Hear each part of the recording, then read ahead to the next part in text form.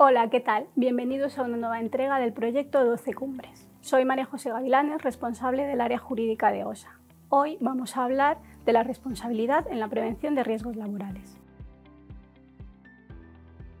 La salud y la vida de los trabajadores son el principal activo de nuestra organización, además de un bien jurídico especialmente protegido por nuestros poderes públicos. En la prevención de riesgos laborales no se improvisa.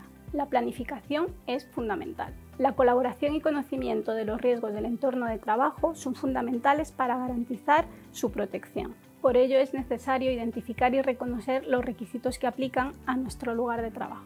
Esto además nos ayudará a evitar sanciones, multas o retrasos en la consecución de nuestros objetivos. La prevención de riesgos laborales no es un juego, es una obligación legal y un compromiso ético que incumbe a todos los miembros de OSA. Recordaros especialmente a quienes tenéis e-, equipos bajo vuestra responsabilidad que debéis vigilar y cuidar que se cumpla con el plan de prevención de riesgos laborales.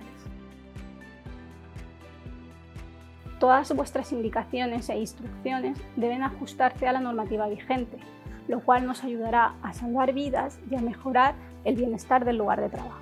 En conclusión, el cumplimiento del plan de prevención de riesgos laborales y toda la normativa relacionada es fundamental para garantizar un entorno de trabajo seguro y productivo.